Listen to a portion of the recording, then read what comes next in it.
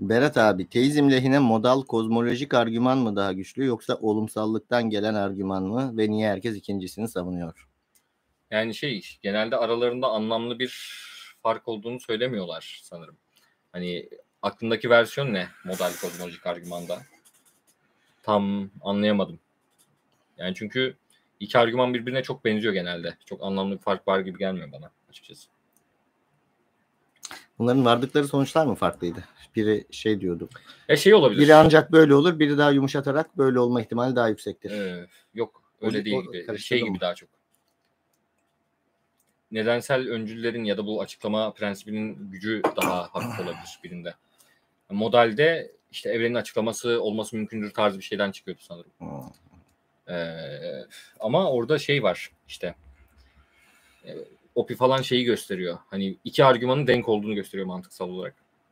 O yüzden hani iki nedensel öncüler arasında çok bir fark yok e, esasen. O yüzden yaklaşık aynı argüman gibiler eğer argümanı doğru anladıysam. Hı hı, E, kozmolojik argüman literatüründe bu arada 4 yıldır bakmıyorum yani.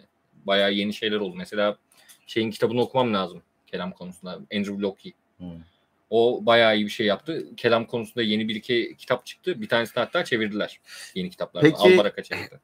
Diğer Big Bang modelleri üzerinden görüş bildiren bir kozmolojik argüman var mı bildiğin?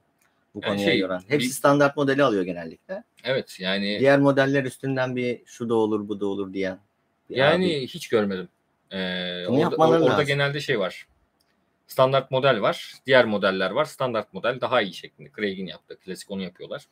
Çünkü standart olmayan modellerden bir de üzerinde uzlaşabileceği model yok her şeyden evet, önce. evet, evet. O yüzden standart dışındaki modele başvurursan abi model zaten saçma derler. Ya Yani doğmamış derler. çocuğa don biçmeye gerek yok diyorlar Aynen. açıkçası. Aynen. Doğru. Doğru bence de aslında. Ama işte standart da yeterince ileri gitmediği için açıklama konusunda falan orada cortluyor. Orada du bakalım diyebilirsin en Ya azından. madem din felsefesine girdik, ben de şeytanın avukatlığını yapayım. Ee, kendi bacağıma sıkacağım burada ama en nihayetinde benim pozisyonumu destekliyor diye her argümanı savunacak halim yok. Hmm. Ya Berat, ontolojik argüman ne amına? Yani tamam kimileri çok kaptırıyor Plantingas'ından şusundan busundan ama bana hiçbir şey anlatmıyor. Yemin ederim hiçbir şey anlatmıyor. Ve Sen- çok güçlü bir argüman olarak kullanılıyor. Çok güçlü bir argüman olarak genelde din felsefecileri kullanmıyor. Ha. Onu yeni öğrenen eee, din felsefesine ilgi duyan teist arkadaşlar o şekilde kullanıyor genelde. Plantinga güç sü- sü- sürüyor ya. Ve Plantinga şey Ontolojik- demiyor mesela. Plantinga ben Tanrı'yı kanıtlıyorum demiyor ya da Ha. bu Tanrı'nın varlığı elinde bir argüman demiyor. pastacılığa gibi bir şey mi düşünüyor? Şey gibi İman Yani- tazeleyen falan. yani inanan birinin öncüllerine inanması makul. ha, ha, Ee, ha. işte Tanrı öyle olur. ak- akliliğini gösteriyor. Yani öncülleri Tamam. çok bariz yanlış değil.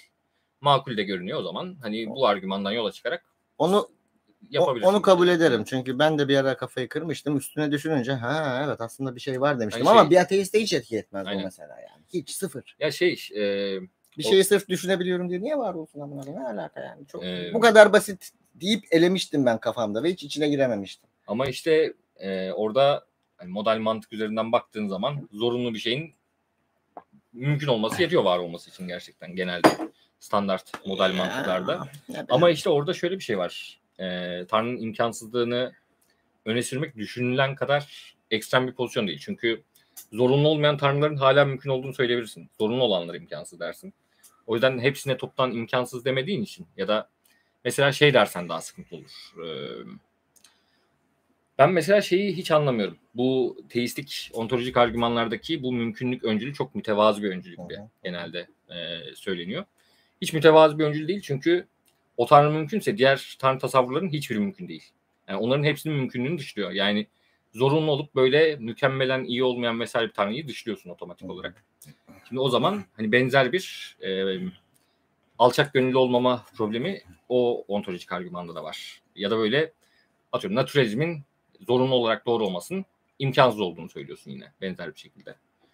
O tarz e, dışladığı bir sürü zorunlu senaryo olduğu için benzer problemler orada da söz konusu. Yani alçak gönüllü bir öncül değil kısacası. Hı hı. O mümkünlük öncülü. Ee, bunu şeyle konuşmuştuk. Josh Rasmussen'e yazmıştım bu konuda. Ne dedi bilmiyorum ama hatırlamıyorum. İki yıl falan oldu yaz- görüşeli onunla yazışalı. Onu da bu arada benim kanala yayına alabilirim. Böyle Allah ayda olur. bir falan Süper olur. İngilizce yayın Takip e, ederim Allah. istiyorum.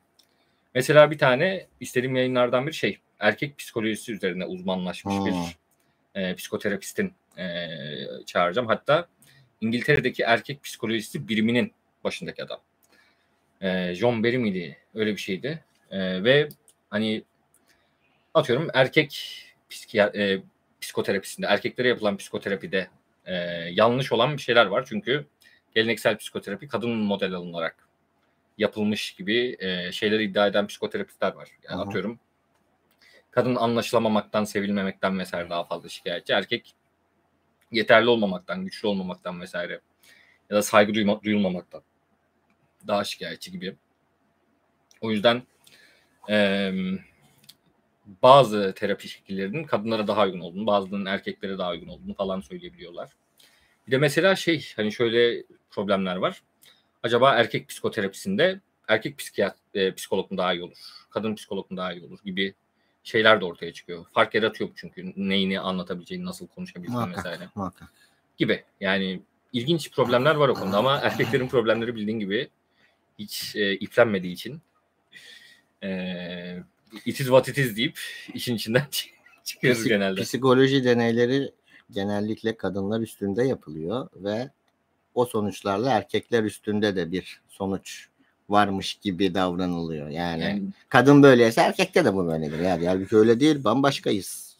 ya şey sosyal psikologlar Yani şu falan zaten özellikle. Eşitlik adı altındaki cinsiyetsizlik nelere nelere nelere mal olur. Bilimin bile anasını nasıl siker ufak bir örnek. yapıyor zaten. Yani şey e, mesela akademik ortamlarda şu an politik doğruculuğun yükselmesinin en önemli nedenlerinden biri kadınlar abi kadınların artması. E, yani bu çok böyle vicdansızca gelebilir ama Richard Hanania'nın sana bahsettiğim yazısı vardı. Bu Kadınların gözyaşları. kadınların gözyaşları fikirler piyasasında nasıl galip gelir tarzı. Okudum ben onu sonra. O baya hani doğru ama onu itiraf etmeye götü yeten çok az insan vardı. Hananiye yaptı onu. Ee, zaten muhtemelen otistik falan o da. O yüzden hiç linçten falan çekinmeden yapıyor yani. Ee, Şu an e, bilimde ve felsefede zeki adamdan çok delikanlı adam ihtiyacına sahibiz. o genel insanlık için öyle ya vallahi. Değil mi? Genel insan değil mi? Delikanlı adam daha çok lazım. Böyle höt diye konuşan. Yani işte hard times olduğu için şu an delikanlı adam artacak yakında. İnşallah inşallah. Yavaş yavaş cengaverler çıkıyor. Kardeş sığınmacılar konusunda dellenip Kılıçdaroğlu'na küfreten, küfretmek bana kaldıysa daha nice cengaverler, Doğru. Nice Cemre Demireller çıkacak yani. Art- Artık buramızda yani amına koyayım.